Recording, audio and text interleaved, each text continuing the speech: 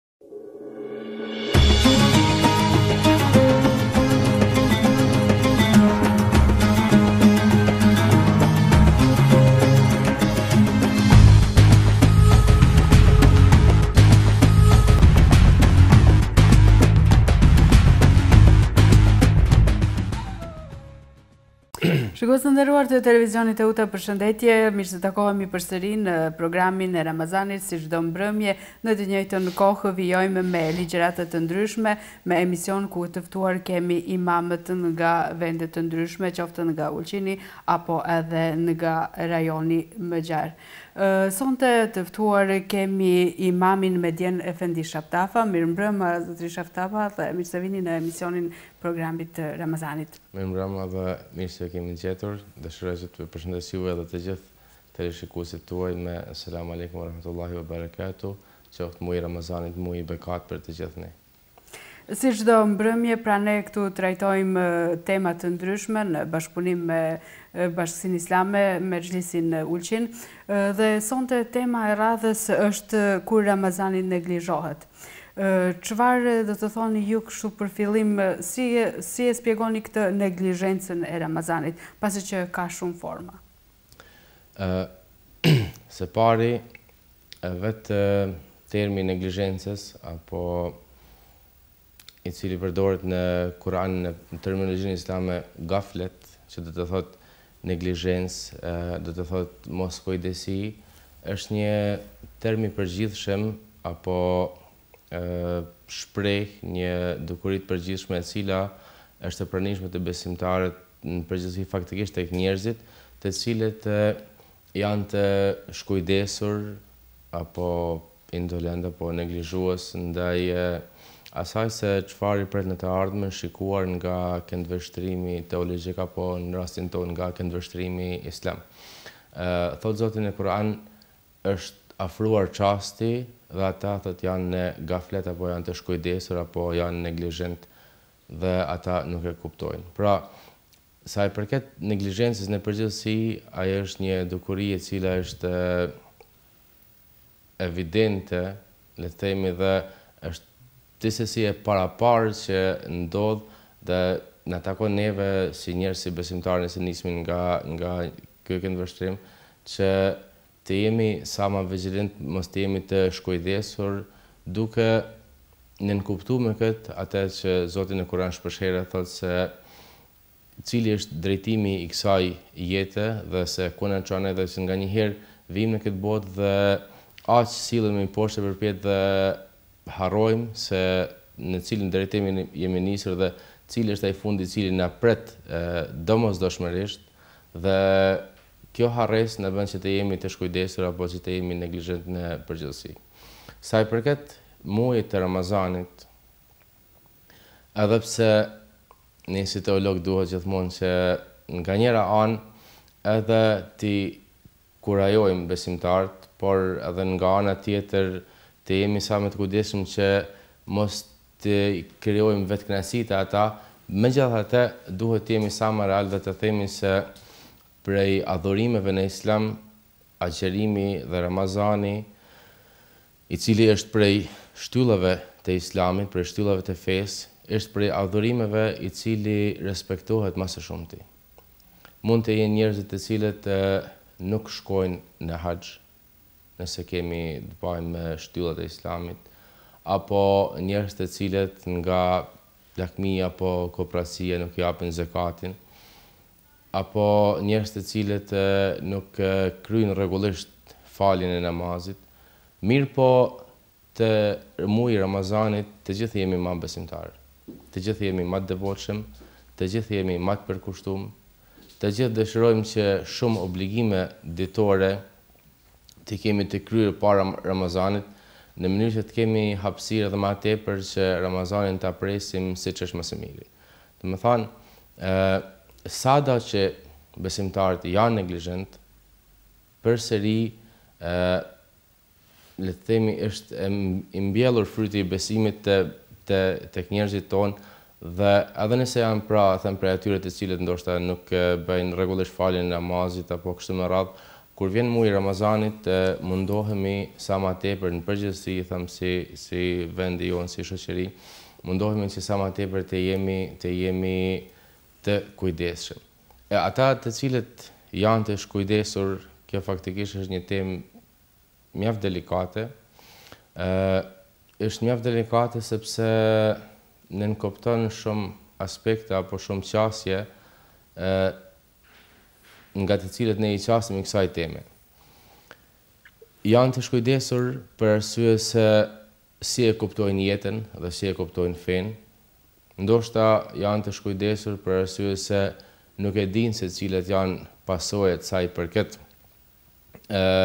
neglizhencës apo moskujdesjes apo lënies pas dore të agjërimit dhe mirësive të Ramazanit në përgjithësi, ose nga ana tjetër nuk e dinë se sa është shpërblimi i madh apo mirësitë e mëdha për ata të cilët kujdesen që Ramazanin ta respektojnë maksimalisht. Kështu që Për ata tham se është temë deri diku delikate dhe varësisht prej qasjes se unë mendoj se ndoshta më së miri të ish temën të fillojmë nga fillimi. Të flasim pak ndoshta këtu tek humbjet e neglizhencës së agjërimit. Do të thotë cilat janë ato humbjet që bëhen nga neglizhenca e agjërimit? Nga aspekti Faktikisht ekzistojnë dy aspekte, ai etik dhe ai juridik apo ai i sheriatit. Kur flasim nga aspekti i sheriatit apo nga aspekti i të drejtës islame apo nga aspekti juridik islam, ë për një njeri i cili e lën një ditë të Ramazanit, ai duhet ta kompenzojë atë. Dhe kompenzimi i drejtë është një ditë për një ditë. Dhe nëse njeriu e lën një ditë të agjërimit pa agjëru me vetëdëshirë dhe me vullnet të lirë, domethënë jo i kushtëzuar nga ndonjë nevojë siç është sëmundja apo udhëtimi, atëherë ai është i obliguar që të agjërojë gjashtëdhjetë ditë për ta kompenzuar një ditë të humbur të Ramazanit. Kështu që Një besimtar i vërtetë i cili e din faktikisht këtë fakt vet nga sanksioni i tillë e kupton se sa është rëndësia e madhe e agjërimit të Ramazanit apo se sa duhet të jetë i kujdesur mos të jetë neglizhent mos të jetë i ndaj muajit të Ramazanit sepse janë mirësi dhe vlera të cilat Zoti i ka zbrazë vetëm në këtë muaj dhe që na takon neve që në bazë të mundësive tona të angazhohemi maksimalisht që t'i arrijmë ato ato mirësi. Në këtë kontekst do të ndërlidh edhe me një hadith, i cili thotë, Kush nuk e agjëron një ditë të Ramazanit, edhe sikur të agjërojë krejt vitin, nuk e arrin vlerën e agjërimit të një dite të Ramazanit. Po, por më duhet të them se ekziston edhe një version tjetër apo edhe një transmetim tjetër i këtij hadithi, dhe ky është një hadith i njoftur, por disa shokë të Pejgamberit alejhi selam transmetojnë edhe një hadith tjetër i cili faktikisht vetëm se e përforcon kuptimin e hadithit të cilin ju e keni përmendur, e që është, Kush e humb një ditë të Ramazanit pa agjëruar edhe sikur të agjërojë tërë jetën nuk mund ta kompenzojë atë ditë apo nuk mund ta arrijë vlerën të cilën e ka agjërimi i një dite të Ramazanit. Pra, ë qoftë hadithi të cilin ju e keni përmendur i cili thotë se edhe nëse agjëron krejt vitin nuk e arrin vlerën e një dite të Ramazanit, Apo hadithi tjetër i cili thotë edhe nëse agjëron tërë jetën nuk e arrin vlerën e një dite të Ramazanit. Faktikisht të dy këto hadithe na tregojnë se sa vlerë edhe se sa mirësi, sa është vepër e dashtur te Zoti i gjithësisë agjërimi i një dite të Ramazanit dhe se nuk ka diçka e cila e kompenzon atë. Shpesh hadithet e Pejgamberit alejhi selam apo Me hadith ne kuptojmë fjalët e tij apo shprehja e tij e nuk e ka për qëllim edhe kur shprehet me numra apo me sasi nuk e ka për qëllim sasinë fikse por është e thanë në një mënyrë simbolike për ta tregu vlerën e madhe faktikisht Marr hadithin e parë i cili thotë tërë vitin apo tërë jetën, faktikisht vetë Profeti Muhamed alejhi selam don me na tregu se në mënyrë simbolike se është diçka e cila nuk arrihet jashtë muajit Ramazanit. Agjërimi i një dite në Ramazan i cili lëshohet nuk kompenzohet. Nuk kompenzohet për arsye se vetë Allahu xhalesha. Nuk kompenzohet vlera, ndoshta dita por jo vlera. Nuk kompenzohet vlera. Domethënë, mundet me e kompenzu një ditë apo me e kompenzu me gjashtëdhjetë ditë në mënyrë që ta shlyjmë atë gabim të cilin e të cilin e kena ba, duke mos agjëru një ditë. Por, ta arrijmë vlerën e një dite të Ramazanit apo sevapin e një dite të Ramazanit duke kompenzu duke agjëru jashtë muajit të Ramazanit, faktikisht Pejgamberi alejhi selam sikur na tregon se është e pamundun dhe se na tregon se sa mirësi edhe se sa vlerë të madhe ka agjërimi i një dite të Ramazanit. Kur flasim për gjashtëdhjetë ditë, pse pikërisht është e përcaktuar nga feja islame që gjashtëdhjetë ditë të jetë ai, të themi, një dënim për atë që nuk e agjëron një ditë? Faktikisht kjo është një temë jashtëzakonisht delikate, sepse sanksionet të cilët Kurani ka përshkruar janë të vendosura nga vetë autoriteti i Zotit. Domethënë, na kemi të bëjmë me një me një dallim jashtëzakonisht të madh me atë të cilin e quajmë e, e drejta pozitive apo ligji i sotëm dhe e drejta islame. Në të drejtën islame ligjvënës, sepse kemi të bëjmë me atë se kush është ligjvënës, ligjvënës është vetë Zoti. Dhe në atë aspekt nganjëherë ose shpesh herë ne nuk mundem me kuptu se cila është urësia e caktimit të një mase të tillë, pa marrë parasysh se sa sa është ajo, mirëpo faktikisht a ishte e caktume gjashtëdhjetë ditë për të tregu se ndoshta aq është mundësia e njeriut për ta kompenzu dhe se se ma tepër do të ishte ngarkesë tepër e madhe apo ishte diçka e cila mendja jonë nuk mundet me me arrit me me e deshifru. Sepse, siç e thashë në Kur'an apo në Islam në përgjithësi, isht burimi i vlerave isht vet Zoti, vet Ai i Cili e ka kriju njeriun edhe universin dhe i ka dhanë se se çka isht e mirë dhe se çka isht e lig, çka duhet të veprohet dhe se prej çka duhet që njeriu të largohet. Dhe në këtë aspekt, në aspektin e sanksioneve në Islam në përgjithësi, nganjëherë Nganjëherë mundemi që ta kuptojmë se çka fshihet pas asaj urtësie, por nganjëherë edhe nuk mundemi ta kuptojmë. Shpesh përmenden edhe sanksione të tjera dhe masat e tyre, të cilat në ligjin e sotëm duken se janë shumë të ashpra apo të rrepta kur është fjala për delikte të tjera, siç është vjedhja, zinaja apo kështu me radhë. Mirëpo, nganjëherë mund të themi se me ato Islami faktikisht disa dukuri negative I ka i ka eliminu qysh në fillim. Mirëpo nganjëherë nuk mundemi që ta kuptojmë atë. Kështu që sa i përket numrit gjashtëdhjetë është e vështirë të nepet ndonjë përgjigje kompetente, ashtu është siç ka vendos madhnia e tij. Faleminderit. Po ashtu edhe falja e vakteve, e sidomos e teravive është jashtëzakonisht e madhe gjatë këtyre ditëve. Cilat janë ata humbjet, të themi, të, apo neglizhenca ndaj atyre netëve teravive konkretisht, të cilat nuk falen me rregull, apo të cilat nuk falen në një natë të caktuar? Ë, faktikisht, edhe në këtë aspekt, Domethënë vlen pothuaj i njëjti parim me dallimet e veta të cilat i ka sa i përket llojit të adhurimit. Faktikisht njeriu mund të jetë neglizhent dhe hup mirësi jashtëzakonisht të mëdha sepse është muaji i Ramazanit, është muaj të cilin Allahu xhaleshanuhu e ka dallu dhe ka zbrazë mirësitë e tija të panumërta. Mirëpo nëse nisemi nga hadithi profetik apo nga fjalët e Muhamedit alejhi selam i cili thotë se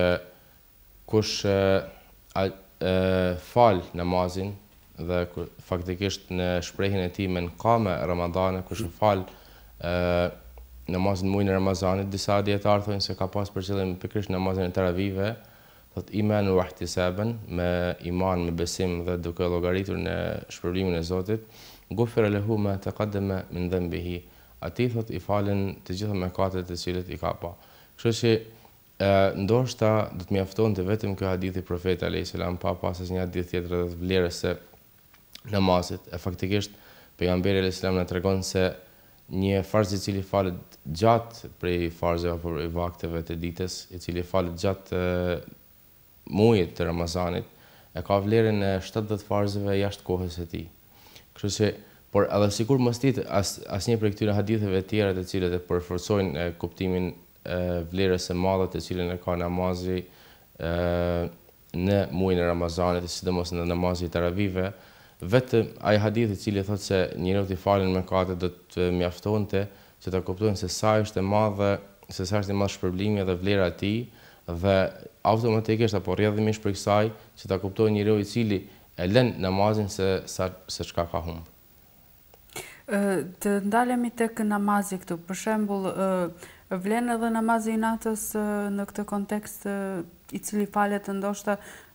me vetë dëshirën, namazet nafile? Absolutisht. Jashtë atyre dhjetë ditëve të fundit. Absolutisht, absolutisht, sepse hadithi është i përgjithshëm dhe ka kuptim të përgjithshëm. Pra hadithi i pejgamberit alejhi selam men kame ramadane imanen ve ihtisaben, siç e ceka janë disa dijetarë të cilët thonë se nuk është fjala për namazet në përgjithësi, por është fjala për namazin e teravisë. Por qoftë namazi në përgjithësi apo qoftë namazi i teravisë, Është vlera e madhe të cilën Pejgamberi alejhi selam e ka përmend. Ai faktikisht ka thënë se ndoshta duhen edhe disa hadithe të tjera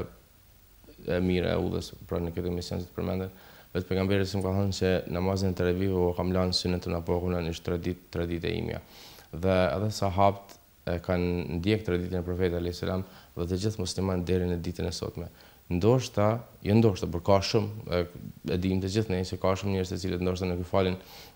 pesë kohët e namazit jashtë Ramazanit, po ndoshta as në Ramazan mirëpo namazin e teravive e falin me një përkushtim jashtëzakonisht të madh, me një rregull dhe me një disiplinë jashtëzakonisht të madhe dhe kjo sepse vlera e tij e madhe dhe mirësitë të cilat janë në atë namaz gjatë gjithë muajit Ramazanit e jo vetëm gjatë dhjetë netëve të fundit, janë përcjellë gjeneratë pas gjenerate që nga koha e Profetit Muhamed alejhi selam deri te gjithë ne dhe normalisht as ne nuk dojmë të bëjmë ndonjë kompromis që ta lëshojmë këtë traditë mirë dhe këto mirësi të cilat i ofron Ramazani përmes faljes së namazit gjegjësisht përmes namazit të teravive. Atëherë për fund të emisionit të natës së sontme një mesazh për të gjithë ata që e kanë neglizhuar të themi Ramazanin deri tani, pasi që jemi në fillim të muajit. Ndoshta do të jetë i mirëseardhur. Ajo çfarë ndonjëherë më bjen në mend, sa i përket ndoshta dhe atyre të cilët nuk e agjërojnë Ramazanin apo nuk falin namazin e teravive, më duket sikur një shtëpi e cila i ka fik të gjitha dritat. Sepse kjo është ndoshta një përjetim i imi personal, sepse nëse asnjë prej atyre të cilat janë shtylla të fesë nuk respektohet, ndoshta nuk respektohet namazi, nuk respektohet haxhi, zekati edhe punë tjera dhe Ramazani faktikisht tek besimtarët tanë është vërtetuar me shekuj se është ajo shtylla e fundit, por ma e fuqishmja e Ramazanit dhe nëse edhe ajo edhe ajo dritë fiket e cila na lidh neve me me le të themi ashtu me qiellin apo me Zotin atëherë çka ka mbet çka ka mbet prej asaj shtëpie apo prej asaj familje ose prej atij individi i cili në brendinë e tij ka fik apo ka humb ka humb apo ka shkëput çdo lidhje me me Zotin dhe dashtë Zoti që të na bajë prej atyne të cilët i ka ndriçu zemrat e tyne brendinë e tyne Që u ka ndriçu rrugën e cila çon drejt tij, dashtë Zoti që edhe ky Ramazan t'i gjejë besimtarët tonë sa ma mirë dhe ata ta përcjellin edhe ata Ramazanin sa ma mirë. Faleminderit për këtë trajtim të kësaj teme. Ju dëshirojmë agjerim të lehtë të muajit të Ramazanit dhe dua të pranueshme. Faleminderit edhe juve. Miq të dashur, ishte kjo emisioni i radhës për natën e sontme. Ne takohemi përsëri nesër mbrëma në të njëjtën kohë me të tjerë mysafirë. Mirëmbetshi.